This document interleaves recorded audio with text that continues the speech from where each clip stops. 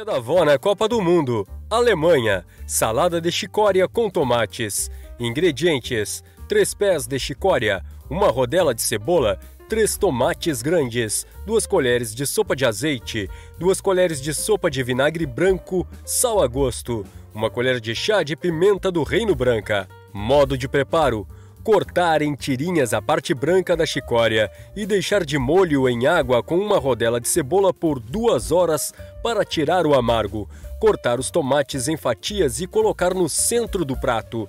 Escorrer a chicória. Retirar a rodela da cebola e arrumar ao redor das fatias de tomate como uma flor. Regar com um molho feito assim. Misturar o azeite, o vinagre, o sal e a pimenta do reino.